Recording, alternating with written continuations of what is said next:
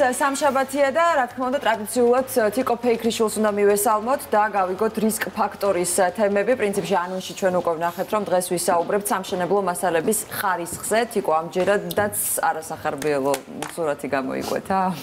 ნამდვილად სამშენებლო მასალიდან ჩვენ შევარჩიეთ ცემენტი. ეს განაპირობა ამ გადაცემის რეპორტაჟის მომზადება განაპირობა იმამ როდესაც ცემენტის ასოციაციამ ჩაატარა კვლევა საქართველოს ბაზარზე არსებული ცემენტებისა 29 ნიმუშიდან ნახევარი იყო ნახევარმა ვერ დააკმაყოფილა სტანდარტი ხოლო 7 საერთოდ შეუსაბამო იყო და ეს ყველაფერი გამოიყენება იმ სახლების მშენებლობაზე რასაც ჩვენ ვცხოვრობთ ნამდვილად საშიში არის იმიტომ რომ როგორც მოგეხსენებათ, თელ საქართველოსში ბუმი არის მშენებლობის, როგორც დედაქალაქში, ასევე ჩვენ წინა გადაცემა ქონდა სწორედ აჭარაში მშენებლობის და ეს ცემენტი გამოიყენება ამ მშენებლობაში. ადგილობრივად წარმოებულ მასალებზე საუბარი? 2019 წელს იანვარში, როდესაც ასოციაციამ შეამოწმა შეამოწმა ცემენტი, მხოლოდ ადგილობრივი წარმოების ცემენტი იყო, თუმცა წინა წლებში მას შეუმოწმებია იმპორტირებული ცემენტი და იქაც იყო დარღვევები, მაგრამ მაგრამ ძირითადი 80%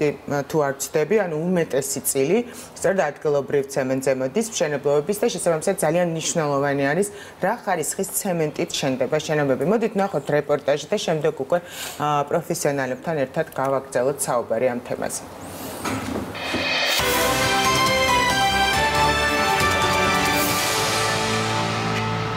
საქართველოს ცემენტის ასოციაციის მიერ 2019 წლის იანვარში სხვადასხვა ობიექტებიდან აღებული ცემენტის ფარული ტესტირება ჩატარდა. ადგილობრივი წარმოების ცემენტის შეფუთული ნიმუშებიდან ევროპული სტანდარტი მხოლოდ ნახევარმა დააკმაყოფილა. სულ ლაბორატორიული კვლევა 29 ნიმუშს ჩაუტარდა. 14 ნიმუში სტანდარტთან შეუსაბამო აღმოჩნდა. 14-დან 7 კი შეფუთვაზე დატანილ მაჩვენებელზე კრიტიკულად დაბალი შედეგი აჩვენა. Many of the cements that we tested in bags ძალიან ბევრი ცემენტი რომელიც აკრედიტირებულ ლაბორატორიაში შევამოწმეთ აღმოჩნდა სტანდარტებზე დაბალი. მაგალითად თუ შეფუთვაზე მითითებულია ცემენტის ხარისხი 42.5 ის შესაძლოა აღმოჩნდეს 10-ზე დაბალი.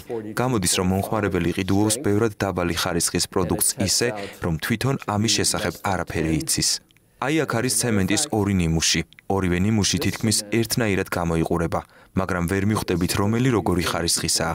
ასე შეხედვით პრაქტიკულად შეუძლებელია გამოიცნო რა ხარისხისაა ცემენტი. ერთადერთი გზა რომელიც შესაძლოა შემოწმდეს, შესაბამისია თუ არა ცემენტი იმ ეტიკეტთან, რაც აწერია, არის 28 დღიანი ტესტირება. სწორედ ამ გზით შევამოწმეთ პროდუქცია. ეს ნიმუში, რომელსაც ეწერა 42.5 ხარისხი, სინამდვილეში არის 9.7. ეს მეორე ნიმუში კი აღმოჩნდა, რომ ეტიკეტზე მითითებულ სტანდარტს აკმაყოფილებს და აღმოჩნდა, რომ ხარისხიანია, მაგრამ ამას ასე ვერ მიხვდებით ერთი შეხედვით. საჭიროა ტესტირება და შესწავლა, რომელსაც 28 დღეს სჭირდება. ცემენტის ასოციაციის მიერ ბოლო 2 წლის განმავლობაში შეფუთული ცემენტის 215 ნიმუშზე ჩატარდა ლაბორატორიული კვლევა. მხოლოდ 35% შეესაბამებოდა სტანდარტს, 65% კი დაბალი ან კრიტიკულად დაბალი ხარისხის აღმოჩნდა. If you use low quality cement for construction თუ შენ იყენებ დაბალი ხარისხის ცემენტს კონსტრუქციებში, ეს არ იქნება მყარი. მე შემიძლია გითხრათ ორი მაგალითი. ვიცი ორი შემთხვევა, როცა შენდებოდა კონსტრუქციის მეორე სართული. დაასხეს ცემენტი, რომელიც არ იყო ხარისხიანი. კონსტრუქცია იმდენად სუსტი გამოვიდა, რომ ჩამოიშალა. რა ხდება მაშინ, როდესაც ცემენტის ხარისხი ეტიკეტზე მითითებულ მონაცემებს არ შეესაბამება და ამის მიუხედავად მრავალსართულიანი თუ რთული კონსტრუქციის მშენებლობებში გამოიყენება ცემენტის ნიმუშების შესამოწმებლად ხშირად ლევან სამხარაულის სახელობის სასამართლო ექსპერტიზის ეროვნული ბიუროს ლაბორატორიაში მიაქვთ. რასაშიშროება შეიძლება დადგეს თუ ცემენტი არის უხარისხო და თუ მწარმოებელი იტყუება? Ну ამ შემთხვევაში ცხადია ძალიან დიდია რისკი იმიტომ რომ ის კლასი რაც მის შეფუთვაზეა ასე ვთქვათ აღნიშნული და იმას არ შეესაბამება იმაზე ნაკლებია შეიძლება ამ შემთხვევაში მისმა მწარმოებელმა ბეტონის მწარმოებელმა გაითვალის ან ბეტონის შედგენილობის ანგარიში ხდება იმ მისი სიმტკიცის მიხედვით რაც ობიექტურად ცემენტს გააჩნია. თუ მის შეფუთვაზე მინიშნებულია მაღალი კლასი და სინამდვილეში დაბალი სიმტკიცის მასა, მასში ჩაყრილი მასა არა? ამ შემთხვევაში შესაძლებელია ბეტონის დაბალი კლასის გამოვიდეს და ვეღარ გაუძლოს მენ დატვირთვებს ასე შემდეგ და შესაძლებელია მოხდეს შენობის ნგრევა.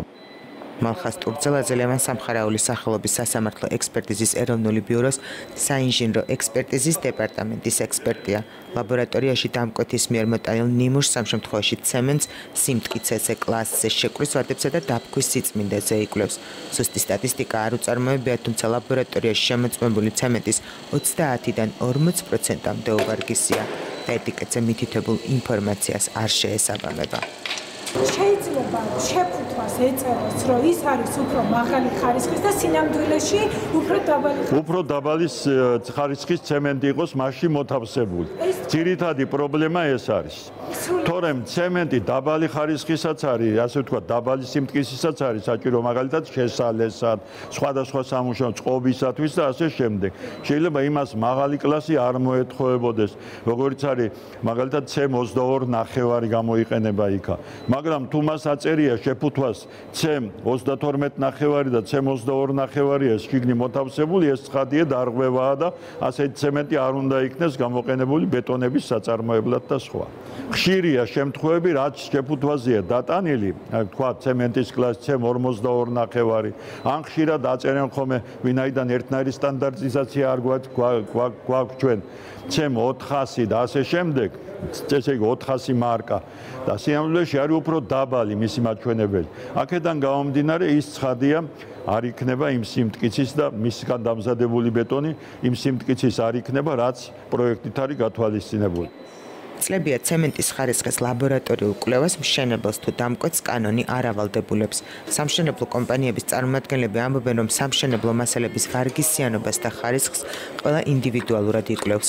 საბოლოოდ ხარისხანი მშენებლობა და მისთვის გამოყენებული სამშენებლო მასალების ხარისხი მთლიანად დამკვეთის კეთილსინდისიერებაზეა დამოკიდებული. თვითონ ქარხანა აკეთებს ექსპერტიზას უკეთებს ამ ბეტონს იღებენ ყალიბებს და ამოწმებენ. მაგრამ გარდა ამისა თვითონ ჩვენ როცა ვღებულობთ ბეტონს ადგილზე ჩვენს ყავს პოლიტექნიკური ინსტიტუტის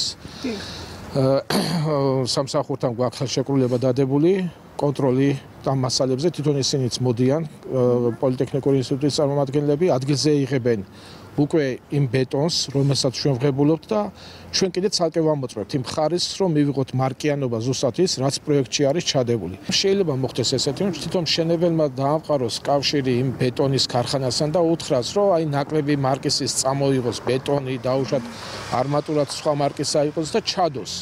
და გააკეთოს თუ ვინმე არ აკონტროლებს ამას ამ შემთხვევაში. თავის თავსაც იტყუებს და სხვასაც ატყუებს. და ამ შემთხვევაში ჩვენ შემთხვევაში ეს არ ხდება. რეგლამენტი რითიც ამ შემთხვევაში ცემენტის ხარისხი უნდა განისაზღვროს ძალაში 2019 წლის 15 იანვარს შევიდა. სამშენებლო პროდუქტების შესახებ ტექნიკური რეგლამენტი ამ ეტაპისთვის მხოლოდ 4 პროდუქტი განისაზღვრა: არმატურა, ელექტროკაბელები, პლასტმასის მილები და ცემენტი. ამავე რეგლამენტით განისაზღვრა აღნიშნული მასალების კონტროლი, რომელიც მე-7 თავშია გაწერილი. იმ შემთხვევაში, როდესაც ბაზარზე ზედამხედველობის ორგანოს აქვს ინფორმაცია, რომ პროდუქტი შესაძლოა არ შეესაბამებოდეს ამ ტექნიკური რეგლამენტით გათვალისწინებულ მოთხოვნებს, ანდა შეიცავდეს დადასტურებულ საფრთხეს. ბაზარზე ზედამხედველობის ორგანო ვალდებულია განახორციელოს სამშენებლო პროდუქტების ბაზარზე ზედამხედველობა. შესაბამისი ეკონომიკური ოპერატორი ვალდებულია ითანამშრომლოს ბაზარზე ზედამხედველობის ორგანოსთან. იმ შემთხვევაში თუ ბაზარზე ზედამხედველობის ორგანო ზედამხედველობის განხორციელების პროცესში დაადგენს, რომ სამშენებლო პროდუქტი არ აკმაყოფილებს ამ რეგლამენტით განსაზღვრულ მოთხოვნებს, იგი ვალდებულია განახორციელოს პროდუქტის უსაფრთხოებისა და თავისუფალი მიმოქცევის კოდექსით გათვალისწინებული ღონისძიებები. ბაზარზე ზედამხედველობის ორგანო ეკონომიკისა და მდგრადი განვითარების სამინისტროს დაქვემდებარებაშია. 2019 წლის 15 იანვრიდან დღემდე ამ სამსახურმა 230 ობიექტი შეამოწმა. ზედამხედველობა განხორციელდა როგორც ცემენტის, ისე არმატურის, პლასტმასის მილებისა და ელექტროკაბელების ხარისხსა და დოკუმენტაციაზე. სამინისტროში ამბობენ, რომ 230 ობიექტიდან 90%-მა დოკუმენტური შემოწმება ვერ გაიარა. დოკუმენტური შესაბამისობას უნდა აკმაყოფილებდნენ, სერტიფიკატები უნდა ქონდეთ. უნდა ქონდეთ მითითებული რა სტანდარტები დააკმაყოფილეს. საწარმო კონტროლის სისტემა რა დანერგეს. ბოლო პერიოდში საქართველოში ამ პროდუქტების მიმართულებით წარმოიქმნა ხარისხობრივი პრობლემა ბაზარზე. ეს იყო ძირითადი მიზეზი და მეორე მიზეზი ეს იყო არასწორი ინფორმაციის წარმოქმნა განთავსებულ პროდუქტებზე. ანუ რაც ნიშნავს არასამართლიანი კონკურენციის პირობებსაც გარდა იმისა, რომ პროდუქტი პროდუქტის უხარისხობის პრობლემა მიმატა. ბაზარზე. ანუ რაც ნიშნავს იმას, რომ შეიძლება პროდუქტს ქონოდა თვისო ერთ ერთი თვისობრივი מחასიათებლები, ანუ თავისი და მეწარმე დეკლარირებას ახდენდა სხვის, ანუ იტყვილებოდა. იმ სამშენებლო მასალების ხარისხზე, რომელიც ახალი რეგლამენტით განიცაცხვა ზედამხედველობის სამსახურის შემოწმებას რისკის ანალიზზე დაყრდნობით ანხორციელებს, რაც წარსულში არსებული ინფორმაციის გაანალიზებით ხდება, მათ შორის ფარული შესყიდვის შედეგად მიღებულ ინფორმაციას, დარღვევა საწარმოსთვის არაფინანსური და ფინანსური საჯარიმო სანქციით განისაზღვრება. კანონმდებლობა ითვალისწინებს 4 არაფინანსურ სანქციას, ეს არის პროდუქტის რეალიზაციის დროებით შეჩერება, მეორე ეს არის პროდუქტის რეალიზაციიდან ამოღება, ეს უფრო მკაცრი ზომა არის და მიმართულია პროდუქტებისკენ, რომელსაც უფრო მეტი ზიანის მოტანა შეუძლია, ანუ მაღალი რისკ ფაქტორი აქვს. უფრო სიმკაცრით მესამე ზომა ეს არის პროდუქტის გამოთხოვა ბაზრიდან, გამოთხოვა ნიშნავს, რომ უკვე რეალიზებული პროდუქტი დაბრუნება ხდება მომხმარებლებისგან. და კიდევ არის ერთი ზომა, რომელსაც ქვია პროდუქტის განადგურება. ეს ამ ზომას იმ შემთხვევაში მიმართავთ, თუ კი პროდუქტი შეიცავს ისეთ ქიმიურ შემადგენლობას, რომ შეუძლია მუდამ კონდეს ექსპოზიცია, ანუ ასხივებდეს ამ მავნე ნიუტრიერებებს გარემოში და უქმნიდეს საფრთხეს ადამიანს. ცემენტის მწარმოებელი საქართველოს მასშტაბით რამდენიმე ათეული საამქროა. მათზე დამოკიდებული რა ხარისხის ცემენტს აწარმოებენ და შემდეგ რას მიუთითებენ შეფუთვაზე დატანილ ინფორმაციას. ჩვენი კომპანია აწარმოებს ცემენტს EN სტანდარტით. ეს არის ევრო სტანდარტი. ჩვენთვის 15 იანვრიდან ფაქტიურად არაფერი არ შეცვლილა, იმიტომ რომ ჩვენი კომპანიის მიერ და ჩვენ კომპანიაში არსებული აკრედიტირებული ლაბორატორიის მიერ ხდებოდა ამ სტანდარტებით ცემენტის 24 საათში ჩვენ მიერ წარმოებული ცემენტის შესწავლა და კონტროლი 24 საათში. სახელმწიფო უწყება რომელიც მაგას აკონტროლებს არ არის. სამშენებლო კომპანიის წარმოადგენლები ამბობენ, რომ ცემენტის ისევე როგორც სხვა სამშენებლო მასალების ხარისხს თავად აკონტროლებენ. ექსპერტები მიიჩნევენ, რომ სამშენებლო ინდუსტრიის დიდი ნაწილი კონკრეტული დეველოპერის მშენებლის თუ იქ დასაქმებული მუშახელის კეთილსინდისიერებაზეა დამოკიდებული, რადგან ხარისხი სამშენებლო მასალის გარდა თვითონ შენების ტექნოლოგიაშია. ძალიან ბევრი რამ არის დამოკიდებული უშუალოდ სამშენებლო უბანზე სამუშაოთა წარმოებაზე. რა კადრებით ხდება ამის წარმოება? რა კვალიფიკაცია აქვს მათ და რა პასუხისგებლობა აქვს თითოეულ მათგანს. იგივე ბეტონი ქარხნიდან შეიძლება მოვიდეს იდეალური ასე ვთქვათ, მაგრამ ობიექტზე წარმოების ან დააგვიანდებს მისი ვთქვათ დაყალიბება, დავიბრირება, ან გვიან მოახდინეს ეს, ან სხვა ბევრი პროცესები არ ან ვერ მოუარეს ტემპერატურული რეჟიმი არ დაიცვეს ან ზაფხულში სიცხეში დაასხეს ან ზამთარში ყინვაში ვერ გაითვალისწინეს რაღაც პარამეტრები და ამან შეიძლება გამოიწვიოს მასალის კარგი მასალის ყოვლად უვარგისად ქცევა ჯერ კიდევ საკანონმდებლო ჩარჩოს მიღმყოფი სამშენებლო სფეროს საბოლოო ევროკავშირთან ასოცირების ხელშეკრულების შედეგად აღებული ვალდებულების გათვალისწინებით ეტაპობრივად უნდა დარეგულირდეს. 2021 წლამდე სამშენებლო პროდუქტების რისი რაოდენობაც 500-მდეა ხარისხობრივად უნდა გაკონტროლდეს. ამიტანზე მხოლოდ 4 ყველაზე მთავარი სამშენებლო პროდუქტია მოქცეული კანონის ქვეშ. მათ შორის ცემენტი. რისი კვლევის შედეგადაც გამოიკვეთა რომ არსებული ნიმუშების ნახევარი სტანდარტს ვერ აკმაყოფილებს და მისი გამოყენება დღეს მიმდინარე მშენებლობისთვის საფრთხის შემცველია.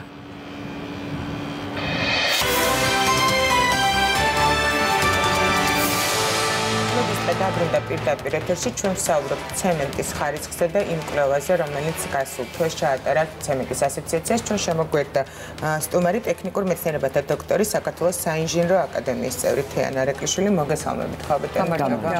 პირველ რიგში რა რას ნიშნავს უხარისხო ცემენტი და უხარისხო ცემენტისგან გამოწეული საფრთხე? დიახ, მოგესალმებით. დიდი მადლობა მოწვევისათვის.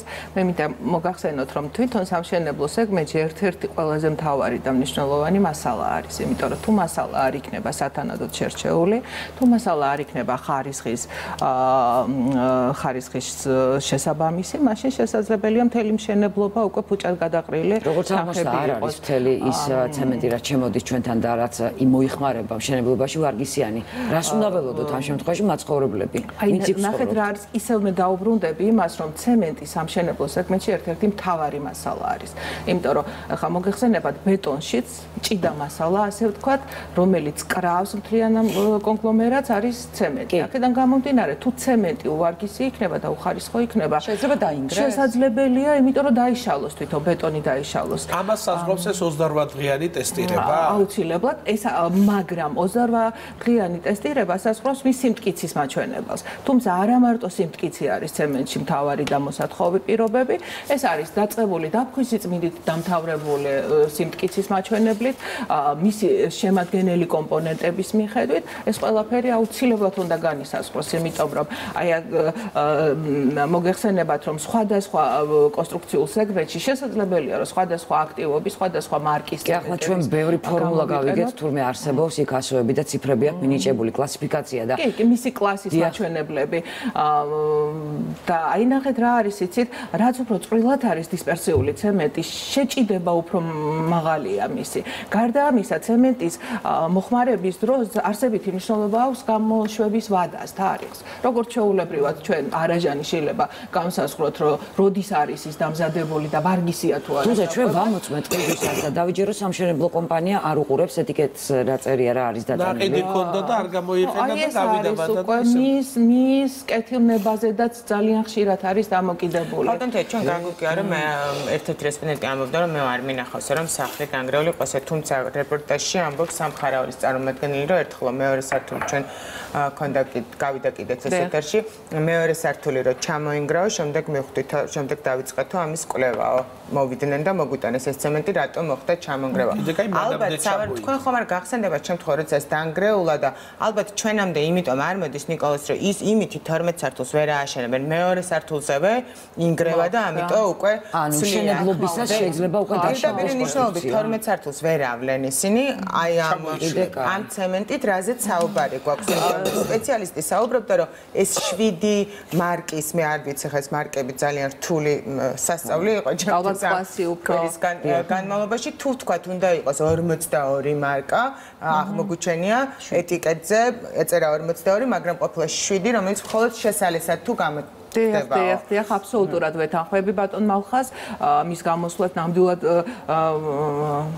ჭეშმარიტება ბრძანა მან. საერთოდ რა არის იცით? დანგრევაზე მინდა მაინც გავიქცე, თქვენ გაგიგიათ ეს შემთხვევა, რომ თქვა დანგრეული იყოს შენებლობის პროცესში, რა თქმა უნდა. ზარი, როდესაც ჩნდება, სამშენებლო სეგმენტში, როდესაც კონსტრუქციაში ჩნდება ბზარი, ეს ბზარი არის რღვევის მაჩვენებელი. ამას ამართლებენ რომ სახლი ჯდება ახალია კონსტრუქცია, იმიტომ რომ მუდმივად ჩვენ გვესმის საფასურო გამორიცხული, ეგეც არ არის გამორიცხული, ჯდენის შედეგად წარმოიქმნას ბზარი, ამიტომ აქ უკვე სპეციალისტებმა უნდა განსაზღვრონ, რომ ეს ბზარი როგორია, როგორ ვითარდება, დინამიკაში უნდა მოხდეს მისი დაკვირვება, რომ როგორ ვითარდება ეს ბზარი და ამ ყოველივე შემდგომ უკვე შესაძლებელია მისი აღდგენა რეკონსტრუქცია ან თლიან ადამიანად დემონტაჟი და დემონტაჟი რეკლამის დროა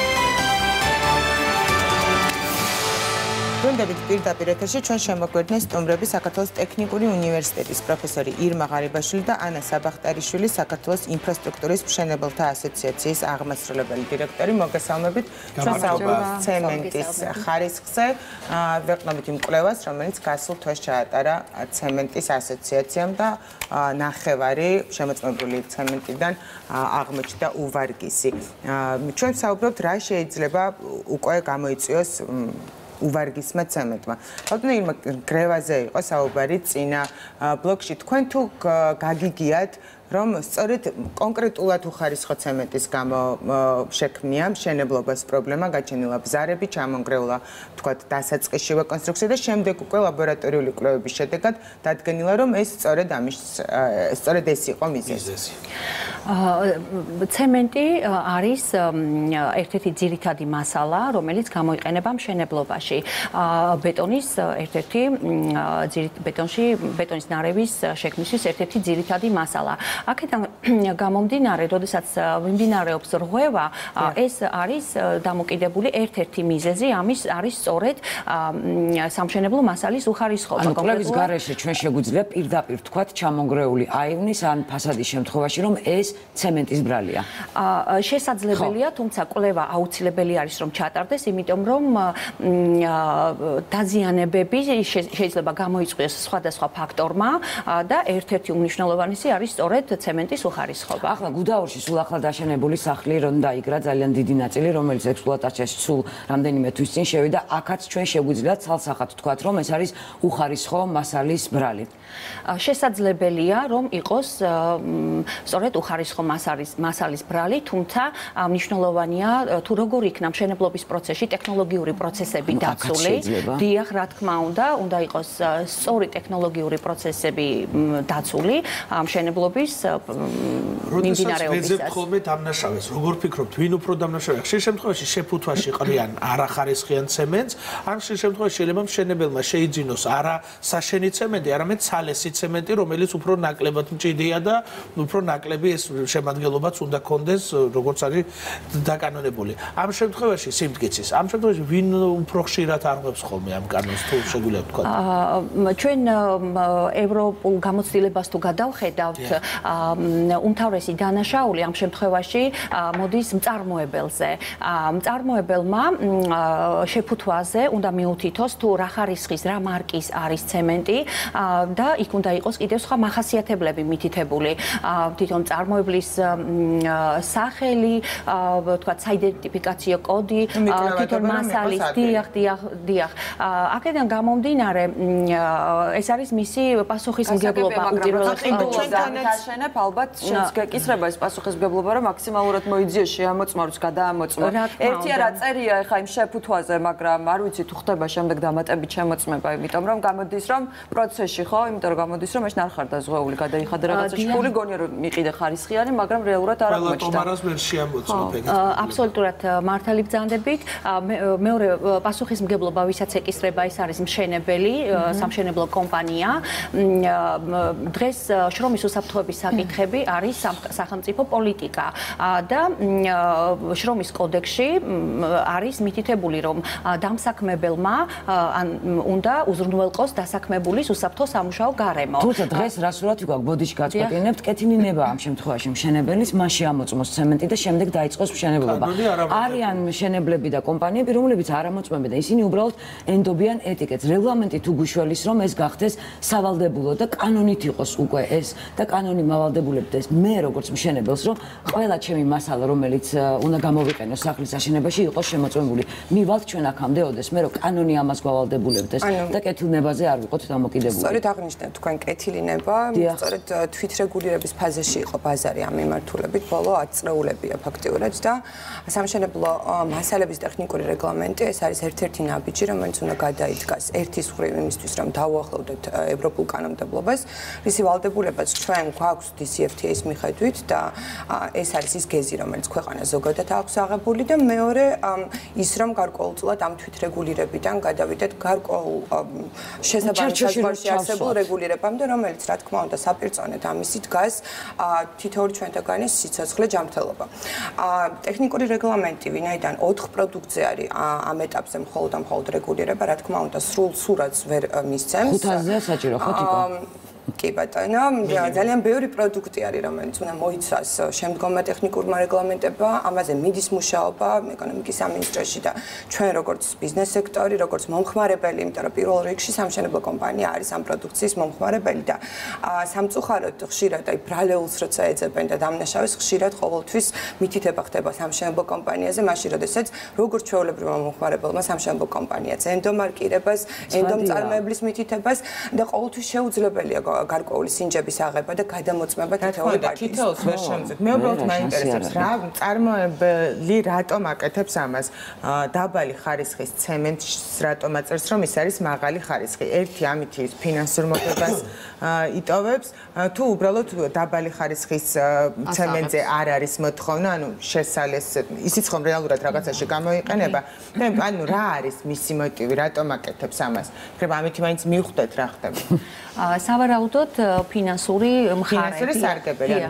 განსხვავება არის დიდი ამ მარკირებ ის მიხედვით ცემენტის ფასებში? არის განსხვავება კი. დიდი განსხვავება. ალბათ ისე აკეთებთ. მოცულობაში უკვე საკმაოდ გამოდის, ხო გამოდის. ანუ ფინანსური სარგებელი არის მეწარმისთვის მთავარი, როდესაც არასწორ ეტიკეტირებას უკეთებს იმ ყუთს, რითიც იყიდება ცემენტი. ვიტყვით რა არის შესაძლებელია არასწორი შენახვამაც გამოიწვიოს ასეთი პრობლემები. ან ვადაგასულის გამო. ვადაგასული იყოს, ცუდად იყოს შენახული, ანუ ის პირობები არ შეექმნას რა პირობებშიც აუცილებელია რომ ცემენტი შევინახოთ, იმიტომ რომ ცემენტი კიდევ ვიძახი ეს არის ჰიდრავლიკური შემკრელი ნივთიერება, რომელიც ფარდობით ტენიანობასთანაც კი შეიძლება შევიდეს რეაქციაში და უკვე დაიწყოს ჰიდრატირება გარკვეულმა ნაწილმა. ვინ ვერ შეინახოს სათანადოდ წარმოებებმა თუნდაც შეფუთვაში, თუნდაც შეფუთვაში, როდესაც არის, ახლა წარმოებაში ის სპეციალურ სილოსებში ინახება, სადაც აბსოლუტურად არის ჰერმეტიულობა დაცული, მაგრამ როდესაც ტრანსპორტ ტრანსპორტირება ხდება ამ ცემენტისა, შეიძლება ამ შემთხვევაში უკვე ტრანსპორტირების დროს აი ესე რომ ვიმსჯელოთ, კალტენტია დაახლოებით რამდენი საწარმო გვექნება საქართველოში, რომელიც ცემენტს აწარმოებს, იმიტომ რომ ბაზრის 80-90% ადგილობრივ წარმოებას ეთმობაო, ესე თქვა სპეციალისტებმა. თქვა მე იქით მინდა ეს საუბარი წავიყვანო, რომ რეალურად რთულია თუ არა ამ საწარმოების კონტროლი. აი დაახლოებით რა რაზეა საუბარი, რა რაოდენობა? იცით რა არის ცემენტის ესეთი ტექნოლოგიური პროცესი რო განვიხილოთ ეს რა არის ნედლეულის მომზადება აა დაფქვა, დაკუცმაცება, არის მშრალი და სველი მეთოდით მისი დამზადება და არის შემდგომ უკვე გამოწვა. აი ეს გამოწვა ყველაზე მნიშვნელოვანი კინკერი რომ მივიღოთ. ეს ყველაზე მნიშვნელოვანი პროცესი 1450 გრადუსზე ხდება უკვე მისი გამოწვა და აქ არის 127 მეტრიანი ესეთი ცილინდრული ფორმის გამოსაწვევი ღუმელები, რომლის დიამეტრი 2 მეტრია.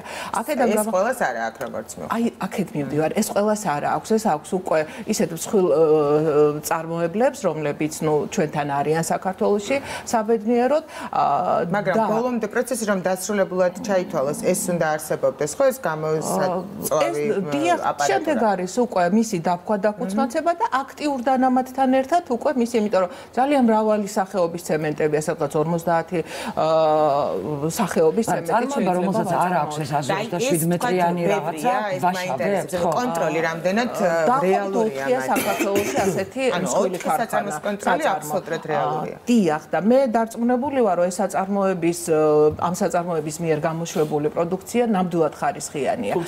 ფასშია განსხვავება ფასში არის განსხვავება და ახლა მე მინდა თქვენ შეგეკითხოთ აი ნახეთ როდესაც არის იმპორტი შემოდის და იმპორტირებული მასალა ბევრად უფრო იაფიჯდება ვიდრე ადგილობრივი მასალა ამ შემთხვევაში სად არის სამართალი და პრობლემა და შემოტანილი იმპორტირებული უფრო ხარისხიანია ვიდრე ჩვენთან არა ჩვენი უკეთესი ანუ შემოდის დაბალ ხარისხიანი იმპორტირებული გარდა ამისა ნახეთ მე ცოტა ამაზე მინდა კიდე ხაზი გაუსვა როდესაც ტენდერები ცხადდება სატენდერო სისტემაში ანუ რა თქმა უნდა ვინც დაბალ თანხას შესთავაზებს რა თქმა უნდა ის იმარჯვებს მაგრამ ზოგჯერ ეს არის ტენდერი თუმცა აი ამ სატენდერო სატენდერო პოლიტიკაში იცით რა არის? აი ეს არ მომწონს მე იმიტომ რომ ძალიან ხშირად არის შემოთავაზება როდესაც პროდუქციის თვითღირებულებაზე ბევრად უფრო დაბალია შემოთავაზებული. მაგრამ ამ შემთხვევაში ხო ეჭვიც ძალიან მარტივად შეიძლება გაჩნდეს რომ თუ თვითღირებულებაზე დაბალი ფასი აქვს. იქ პლუსი იწერება რომ არ შენდა და რა ნიშნობა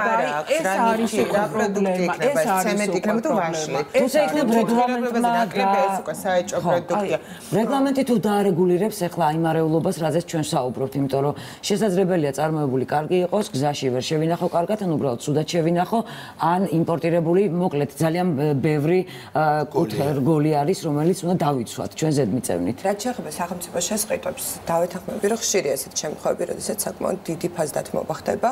ამ შემთხვევაში კანონმდებლობა ითვალისწინებს 20%-ზე დიდი ფასდათმობის არსებობის შემთხვევაში შესაბამისი ფასწარმოების ადეკვატურობის დასკვნის შედგენას, თუმცა დასკვნის შედგენისას ექსპერტები აღნიშნავენ იმას შესაძლებელია თუ არა რომ იშოვოს ამ ფასად მიმწოდებელმა მოცემული მასალა და შესაძლებელია კი ბატონო იშოვოს თუმცა დაბალი ხარისხის. ძალიან კარგ თემას თქვენ შეეხეთ ანუ გარკვეულწილად ბაზარსაც გააჯანსახებს ბუნებრივია მოცემული რეგლამენტი ვინაიდან უკვე ის წარმოებლები რომლებიც ყოველგვარ კონტროლს გარეშე აწოდებდნენ საქონელს ვეღარ შეძლებენ. თანაბარი პირობები შეიკრიბა კი ბატონო და პლუს ამას კიდევ ერთი დადებითი მხარე აქვს იმას რომ ადგილობრივ წარმოებას შეექმნება უკვე თანაბარი პირობები უხარისხო იმპორტირებულ მასალასთან მიმართებით რაც არაერთხელ გამختარა ადგილობრივი წარმოებლების ასე თქვა წუხილის მიზეზი. როდის იგეგმება რომ ჩვენ გადავიდეთ სწორედ აი ასეთ მუშაობაზე? ფაქტობრივად 2022 წელს ჩვენ უკვე უნდა გქონდეს აბსოლუტურად ყველა მიმართულებით ტექნიკური რეგლამენტები მიღებული ამიტომაც დავიწყეთ დღეს. 2019 წლიდან 2022 წელს ასევე შედის გარკვეული მოთხოვნები ევროკოდებთან მიმართებითაც აქ არის საუბარი არა მხოლოდ მასალებზე არამედ უკვე საპროექტო სამუშაოების შესრულებაზე და ფაქტიურად ძალიან აქტიურად მიდის უკვე მუშაობა ევროკოდების თარგმნა, ადაპტირება და ეროვნული დანარჩენი. ევროკოდი მე არ ვიცი რა არის მოვატიეთ, იმიტომ რომ ეს არის ჩემი პროფესია, მაყურებელსაც რო აუხსნათ რა არის ევროკოდი. ანუ ევროპაში მიღებული სტანდარტები ჩვენ დღეს შენებლობის მიმართულებით ხელმძღვანელობთ ფაქტიურად 92 წლამდე არსებული საბჭოთა პერიოდის სტანდარტებით. ნელ-ნელა ქვეყანაში რა არის? ალბათ უფრო რაღაც მარკეტინგული ასე თქვა ტერმინი არის.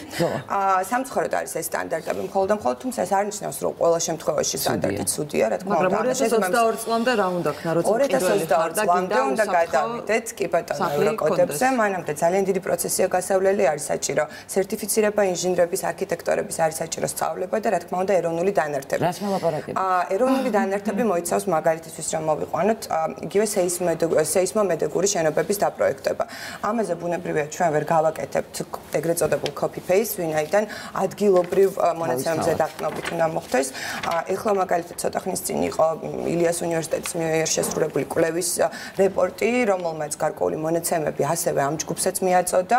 ამ მიმართულებით დანერთი მუშაობდება და ძალიან მალე ტექნიკურ კომიტეტზე, რომელიც ერთ-ერთი წევრი მეც ვარ, წარედგინება და უკვე დამტკიცდება ტექნიკური კომიტეტის მიერ ეკონომიკის სამინისტროსი.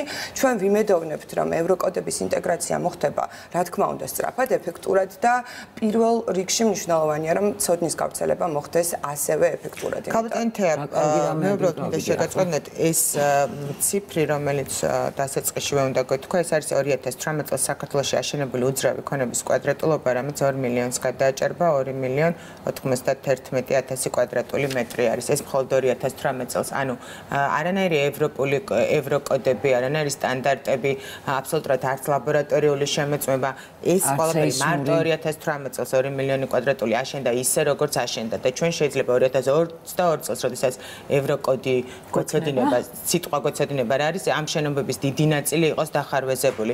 აი არსებობს თორა რამე რეალური მაგალითი, რეალური შანსი იმის, რომ ის უკვე რაც აშენებულია, იმ იმაზე თქვა დაიწეროს რამე დასკვნა რომ ეს შენობა ხარისხიანია. ან ეს შენობა არის უხარისხო ტრიკ ადამიანებმა უნდა იცხოვრონ ხო და ცხოვრობენ კიდეც კიდევ ერთ-ერთი მნიშვნელოვანი რაც არის და რაც პრინციპში არ გამოიყენება ხოლმე მეცილად კერძო დაკვეთების დროს ეს არის საზედამხედველო კომპონენტი.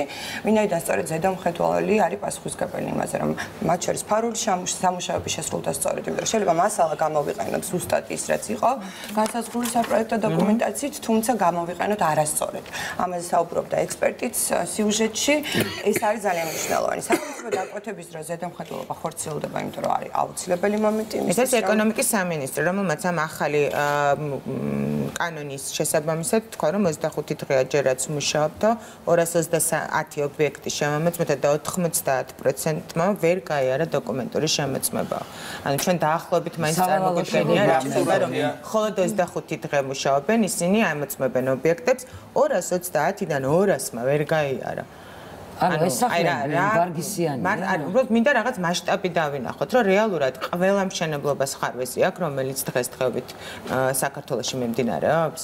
რა თქმა უნდა, დოკუმენტური შემოწმების შემდგომი ეტაპი ალბათ ნიმუშების აღება და ასე შემდეგ, ესეც მოგცემს გარკვეულ სურათს. სტატისტიკაზე შეუსაბამობა იყო რომელიმე შენობაში? მე არ წარმოვიდგენ სააგენტოს ამიტომ დეტალურად ამაზე ინფორმაციას ვერ მოგაწვდი. ამ თავარი არის ამ შემთხვევაში რაც შეიძლება ჩემი მიდგომა იყოს. დროს ეს არის კომპლექსური მიდგომა. ერთის მხრივ მასალების ხარისხის კონტროლი, როგორც სახელმწიფოს მხრიდან, როგორც სააგენტოს მხრიდან, ასევე თავად მომხმარებლების მხრიდან, ხო?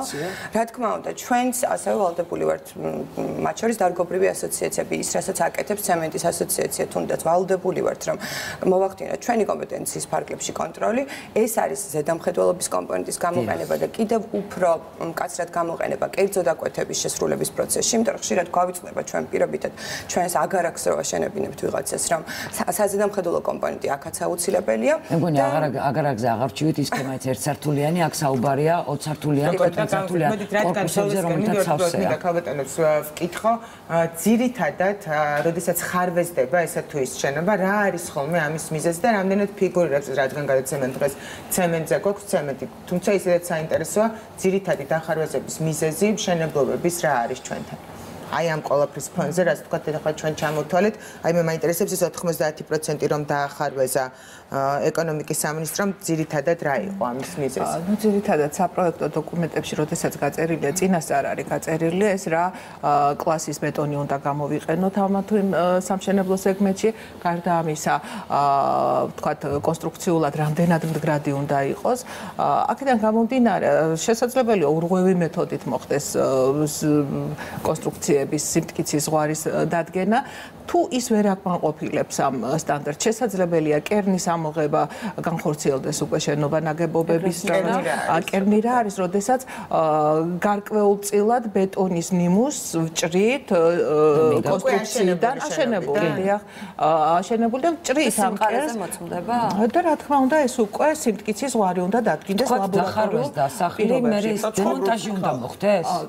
შესაძლებელია არ მოხდეს დემონტაჟი, შესაძლებელია გაძლიერება ახლიდან უნდა მოხდეს მისი პროექტის შედგენა, გაძლიერება დგას უკვე და რაღაც პირველ მეორე სართულზე ძალიან ხშირად ვუყურებ ამ ახალ აშენებულ სახლს, ეს არის ხუთსართულიანი სახლი, რომელიც დახარვეზებულია და აი გადაიხარა, დაიბზარა და დგას ესე უკვე მეხუთე წელია. ვერც ანგრევენ, არა, ვერც ანგრევენ, ვერც აშენებენ, აბსოლუტურად ვერაფერს ვერ უშვებიან. ეს თი შენობა ალბათ ბევრი არის, რომელიც ჩვენ არ გვაქვს ამაზე ინფორმაცია. სწორედ ეს მაინტერესებს. ამ შემთხვევაში ძირითადი პრობლემა მასალა არის არაპროფესიონალების აშენებული არის. ზედამხედველობის არარსებობა. ძირითადი მიზეზი სადვეძებოთ ამ დროს იმიტომ რომ ადამიანებს თანხა აქვთ ძალიან დიდი ამ სახლებში გადახდილი. და აი ყველა ყველა ყველა რაც თქვენ ჩამოთვალეთ ყველა კომპლექსურად ვეთანხმებით, იმიტომ რომ ძირითადად მაინც მასალა არის აქ, გარდა ამისა არაკვალიფიციური კადრიც, იმიტომ რომ იცით რა არის ძალიან ხშირად არის, მაგალითად ელემენტარულად მუშამაც უნდა იცოდეს და უნდა ხონდეს მათ თავისი თანრიგი და თავისი კვალიფიკაცია, რომ შეხში ვართ ახლა, იმიტომ რომ ჩვენ ზადამშენებელმა ხო, ხშირად შრომითი უსაფრთხოება ძირღვა ის ადამიანებიც მუშაობენ იქ რეალურად და თუ რაღაც მოხდა რღვევა და ჩამოშლა შენ შენობის უამრავი ადამიანი მუშაობს პროცესში შენებლობის ხო? ეს საფრთხოების კუთხით. რამდენად დაცული არის იმ ადამიანების უსაფრთხოება რომელიც იქ მუშაობენ? აქ საუბარი არ გვაქვს იმ ადამიანების რომლებმაც შეისყიდეს და შევლენ თქვა უკვე საცხოვრებლად. მუშა პერსონალზე მაქვს საუბარი აღარ მინდა უკვე იმ სტატისტიკის გახსენება რაც ზოგადად შენებლობებზე ხდება. ეხლა ბოლო წელს კიდევ გამოსწორდა თორემ მართლა კატასტროფა იყო როდესაც ყველანაირი დამცავი მექანიზმის გარეშე მუშაობდნენ. ისე გუშინ ნახე ერთ დიდ კლინიკაზე სრულიად დაუცველად სადღაც მე-20 სართულზე იდგნენ და ღებავდნენ ფასადს. თუ მიხვდებით, რომ საავადმყოფოზე საუბარი, იმედია მიხვალთ და მოაწესრიგებთ თვითარებას. უშუალოდ მას სამშენებლო მასალები რამდენად უქმნის საფრთხეს იქ მომუშავე პერსონალს. ეს არის ერთ-ერთი დიდი საფრთხე, რომელიც შეიძლება გამოიწვიოს დაბალი ხარისხის საშენმა მასალამ შრომის უსაფრთხოების თვალსაზრისით. ზოგადად თვით თითოეულ სამშენებლო მასალას უნდა მოყვებოდეს ინსტრუქცია ან უნდა იყოს ნიშანდებული და იქვე უნდა იყოს შრომის მისი გამოყენების წესები უსაფრთხოების თვალსაზრისით გაწერილი. დღეს გარკვეულ სამშენებლო ობიექტებზე ხდება შრომის უსაფრთხოების ნორმების დაცვა, მაგრამ არა საქართველოს მასშტაბით, არა რეგიონის მასშტაბით. რა თქმა უნდა, ეს შეიძლება ერთ დღეში და ერთ თვეში ვერ განხორციელდეს, რომ შრომის უსაფრთხოების საკითხები ბოლომდე იყოს დაცული, გარკვეული პერიოდი სჭირდება, მაგრამ დღეს ნამდვილად დაწყებული არის უსაფრთხოების დაცვის კონტროლი, ობიექტების შეჩერება, გონივრული ვადის მიცემა რომ გამოასწოროს აი ამ მიმართულებით დაიცვას შრომის უსაფრთხოების საკითხები და ძალზედ აქტიურად მიმდინარეობს დღეს ამასთან დაკავშირებით. დიდი მადლობა სტუმრებს. ეს ესეთი თემა არის სამშენებლო სფერო, რომელსაც ალბათ თითქოს ვერ ამოწროთ. უბრალოდ ჩვენ არ გვისაუბრია იმ თემაზე, როდესაც შეიძლება ცემენტი ან სხვა სამშენებლო მასალა იყოს რადიაციული და ეს პირდაპირ უქმნიდეს ჩვენს ჯანმრთელობას პრობლემას, როგორც იქ მომუშავე პერსონალების, ასევე ჩვენი. იმედი მაქვს ეს რეგლამენტი ამ კუთხითაც დაარეგულირებს, რომ შეხება ცემენტთან და შემდეგ იქ ცხოვრება არ გახდეს ჩვენთვის ჩვენი ჯანმრთელობისთვის ძალიან საზიანო. გმადლობთ თქვენ მობრძანებისთვის და დანარჩენი 500 რომ დაემატება, ნელ-ნელა კიდევ მივყვებით ამ სფეროს თუ როგორი რამ მდგომარეობაში არის ის სამშენებლო მასალები, რითიც შენდება ჩვენთან საცხოვრებელი корпуსები და არა მარტო მადლობთ. ჩვენ კი ვიმედოვნებთ, რომ ერთხელ მაინც ციკო ფეიქრიშვილი მოვა და გვეტყვის, რომ რაღაც მიმართულებით სტაბილურობა და არ გაგვკარგავს საპრობლემო. აკოვით რა ბახებ წინა სამშაბათ ჩვენ ბათუმის განაშენიანებაზე გქონდა საუბარი, იქ იყო ერთ-ერთი ისტორიული შენობა, რომელსაც გაიცა შემდეგ ბრძანება, რომ მასზე სამი სართული დაშენებული იყო და სწორედ თიკოს რუბრიკის შემდეგ საქმე დაწყებულია და შეიძლება არ გარაშენდეს. მოკლედ რეკლამას უნდა მიდა კიდევ მოკარო ეს ჩვენ ინფორმატიულობაზედაც არის დამოკიდებული, ამიტომ ყველა მყიდველს აქვს უფლება რომ მოითხოვოს სერტიფიკატი, მოითხოვოს მასალებზე, ამიტომ მე მოუწოდებ ქლიანად საქართველოს რომ ეს უფლება მათ გამოიყენონ. ეს არც. დიდი ინფორმაცია იყო, დიდი მადლობა წარმატებებს გისურვებთ.